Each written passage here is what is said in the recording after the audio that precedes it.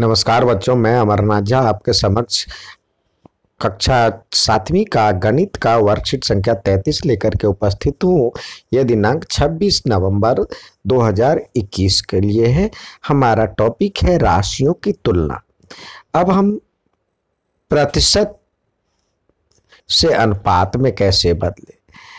जब कोई भाग अनुपात के रूप में दिया जाता है, हम उसे प्रतिशत के रूप में परिवर्तित करते यदि आप देखे होंगे आपसे कहा जाता है, जो कि सौ रुपये है, आपस में दो अनुपात तीन में बांट लो तो कितने कितने परसेंट मिले? तो ऐसे ही जैसे दिया हुआ एग्ज़ाम्पल दिया हुआ, यदि पंद्रह मिठाइयों में से मोनू को तीन मिठाइयाँ और सोनू को बारह मिठाइयाँ बांटना हो तो प्रत्येक को कितने हिस्से बने तो देखिए, मोनू का हिस्सा निकालने के लिए तो मोनू का परसेंट निकालने के लिए तो मोनू को कितना मिला? तीन। और टोटल कितना था? पंद्रह तो तीन बटे पंद्रह और सौ से परसेंट में निकालने के लिए सौ से मल्टीप्लाई कर देते हैं तो ये ट्वेंटी परसेंट आ गया। इसी प्रकार सोनू का निकालने के लिए सोनू को कितना था? बारह, और टोटल है पंद्रह, बारह बटे पंद्रह, उसको सौ से मल्टीप्लाई कर दिए तो आएगा अस्सी परसेंट। इसी प्रकार दिया हुआ प्रतिशत के अनुसार वृद्धि या कमी। आप देखे होंगे जो कि आपके पिताजी की तनख्वाह बढ़ जाती है कभी तो उसमें कितने परसेंट की वृद्धि होती है? आप उसको निकाल सकते हैं। या दिया होता है जो कि आज कोरोना के पेशेंट कल से इत, इतने की कमी आई तो उसकी जो कमी है तो परसेंटेज कैसे निकालेंगे? तो यहाँ पे चर्चा किया गया है जैसे एक देश में निरक्षर व्यक्तियों की संख्या 10 वर्षों में 150 लाख से घट करके 100 लाख हो गई है। तो कमी का प्रतिशत ज्ञात करें। तो मूल राशि आपको दिया गया है जो पहले हुआ है, उसको मूल राशि। डेढ़ लाख एक सौ पचास लाख से घट करके आरंभ में जो अनपढ़ व्यक्तियों की संख्या थी, वो एक सौ पचास लाख थी। और राशि में परिवर्तन हुआ, अनपढ़ व्यक्तियों की संख्या में जो कमी आई, उसको कहते हैं। तो ये डेढ़ 150 लाख में से 100 लाख घट गया तो ये 50 लाख आया आंसर। अब कितनी प्रतिशत की कमी आई तो राशि में परिवर्तन, अपॉन में मूल राशि मूल राशि आरंभ में जो था तो उसको मल्टीप्लाई करने के बाद ये आया आंसर।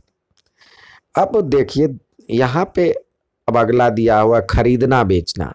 खरीदना बेचना क्या होता है? जैसे फैक्ट्री से सामान निकला फैक्ट दुकानदार फैक्ट्री से खरीदा तो ये इसके लिए खरीदता है और ये फैक्ट्री जिस पे बेचता है, उसको सीपी एस पी कहते हैं। एसपी और जिस पे ये खरीदता, उसके लिए ये सीपी कहलाएगा। इसी प्रकार दुकानदार आपको जो बेचता है, वो कहलाएगा एसपी दुकानदार के लिए ये हो गया सीपी और ये दुकानदार आपको जो बेचता है, वो कहलाएगा एसपी तो अब ये ज़्यादा है, ये कम है, कम में ज़्यादा में खरीदा, कम में बेचा तो नुकसान हुआ, घाटा हुआ। और ज़्यादा कम में खरीद करके ज़्यादा में बेचा तो फ़ायदा हुआ।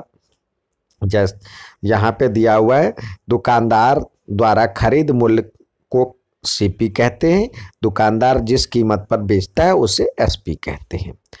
अब यहाँ पे दिया हुआ है 120 रुपए में खरीदा गया फूलदान 108 रुपए में बेचा जाता है। तो क्या होगा?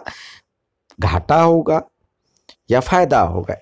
120 रुपए में खरीदा था 108 में बेचा, कम में बेचा तो हानि, यहाँ पे हानि हुआ। ठीक है, और 150 दो, चार, पाँच सौ चालीस रुपये में बेची गई एक खिलौने कार, इतने में खरीदा गया था। कम में खरीदा गया था, ज़्यादा में बेचा तो यहाँ पे लाभ हुआ। अब डेढ़ हज़ार, एक हज़ार के में खरीदी गई एक साइकिल, एक हज़ार में ही बेची तो यहाँ ना प्रॉफिट, न लॉस कोई भी नहीं हुआ, न लाभ, न हानि। अब यदि सीपी बड़ा एसपी बड़ा हो सीपी से, यानी ज़्यादा में खरीदा ज़्यादा में बेचा, कम में खरीदा था तो वहाँ पे लाभ होता है। S P minus C P और ये दूसरा कंडीशन था, इसमें तीसरे कंडीशन में न लाभ हुआ, न फ़ायदा हुआ न नुकसान हुआ, न लाभ, न हानि। सीपी और एसपी दोनों बराबर है। और तीसरे में था इसमें पहले में था सीपी जो है, यदि ज़्यादा में खरीदा और कम में बेचा तो हानि होगा। तो उल्टा होता है सीपी में से एसपी घटाते हैं। अब देखिए प्रतिशत के रूप में लाभ या हानि के रूप में दिया गया है। यहाँ पे पहला सवाल है आपके पास एक ब, एक वस्तु पचास रुपये में खरीदा गया और बारह परसेंट के नुकसान पे बेचा गया। तो इसका विक्रय मूल्य ज्ञात कीजिए तो क्रय मूल्य आपको दिया पचास रुपये हानि दिया हुआ बारह परसेंट किसका होगा? इस पचास रुपये का बारह percent. C P S P बराबर होता है सी पी माइनस हानि अब हानि निकालिए। हानि बारह परसेंट ऑफ़ सी पी तो इसका निकाला गया तो ये छः रुपये आया। तो इसमें से घटा दिया तो चौवालीस रुपये इसका एस पी निकल गया। उसी प्रकार यहाँ पे कह रहा है रूही नौ हज़ार में एक टीवी खरीदी, दो साल बाद उस, उसे छः हज़ार रुपये में बेच दिया। तो रूही के लिए लाभ या हानि का प्रतिशत ज्ञात कीजिए। तो रूही नौ हज़ार में खरीदी और छः हज़ार में बेच रही है। तो यहाँ पे क्या होगा? फ़ायदा होगा या नुकसान? लाभ होगा या हानि? ज़्यादा में खरीदा, कम में बेचा तो यहाँ पे हानि हो गया। और हानि बराबर होता है C P minus S P तो नौ हज़ार में से छः हज़ार गया तो तीन हज़ार। और पहले क्या हुआ था सी पी तो तीन हज़ार अपन में नौ हज़ार बटे नौ हज़ार को ने इससे मल्टीप्लाई किए तो ये आया।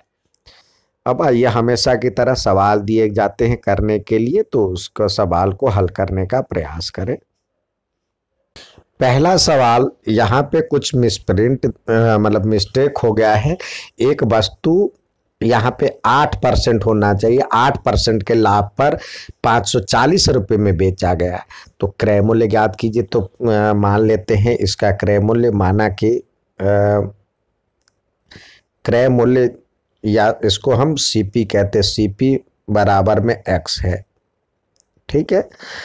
अब लाभ हुआ। लाभ दिया हुआ है। आठ परसेंट लाभ। तो लाभ बराबर में क्या हो जाएगा? एक्स का एक्स का आठ परसेंट।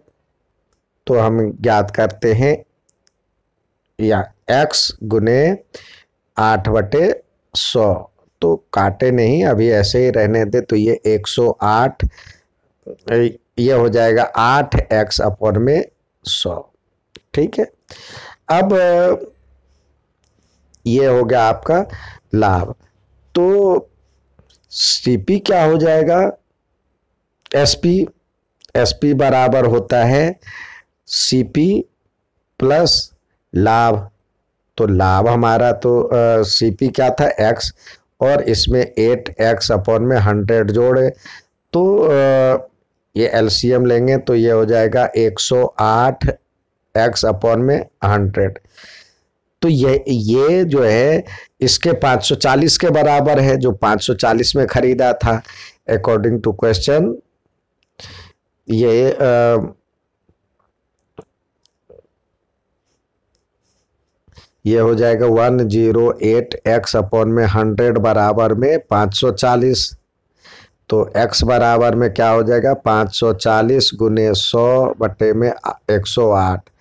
तो ये फाइव जा ये होता है तो ये हो जाएगा पाँच सौ। तो आप देख सकते हैं उस वस्तु का वस्तु का क्रय मूल्य कितना हो गया? क्रय मूल्य पाँच सौ रुपये हो गया, आंसर। ठीक है? था। नेक्स्ट सवाल देखते हैं।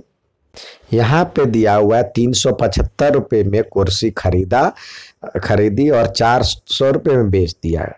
तो लाभ प्रतिशत ज्ञात कीजिए। तो यहाँ पे सी पी दिया हुआ है आपको तीन सौ पिछहत्तर एस पी दिया हुआ है चार सौ। तो लाभ क्या हो गया? लाभ हो जाएगा S P minus C P होता है तो ये तीन सौ पिछहत्तर, ये चार सौ में से तीन सौ पिछहत्तर गया तो ये हो गया पच्चीस। तो लाभ परसेंट निकालना है। लाभ परसेंट बराबर में पच्चीस था ये, और सीपी क्या है? तीन सौ पिछहत्तर गुडे में एक सौ परसेंट। तो ये काटेंगे तो ये पंद्रह हज़ार ये होता है, और